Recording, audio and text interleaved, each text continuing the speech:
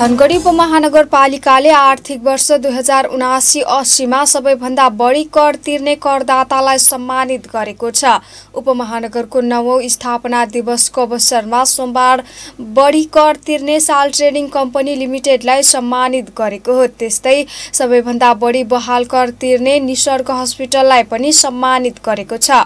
उपमहानगरपालिकाले स्थापना दिवसको अवसरमा उत्कृष्ट मेलमिलापकर्ता वडा नम्बर तेह्रका चुनामणि जोशी र वडा नम्बर पाँचका देव देवकी कुमारी चटौतलाई जनही नगद पच्चिस हजार र प्रशंसा पत्र सहित सम्मानित गरेको हो।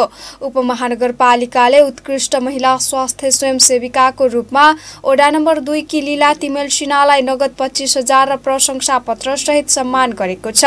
विषयगत कार्यालयतर्फ भने नेपाल विद्युत प्राधिकरण धनगढी वितरण केन्द्र उत्कृष्ट उपभोक्ता समितिका रूपमा वडा नम्बर दस सरौटा चोकको सार्वजनिक शौचालय निर्माण उपभोक्ता समितिलाई सम्मानित गरिएको छ। निर्माण व्यवसायतर्फ पिएस कन्स्ट्रक्सन प्रणाली टिली बजार सामाजिक कार्यमा उत्कृष्ट कार्य गरेकोमा वडा नम्बर पाँचका लालबहादुर खड्का र सामुदायिक वनतर्फ वडा नम्बर सातको पटेला सामुदायिक वन उपभोक्ता समितिलाई सम्मान गरेको छ।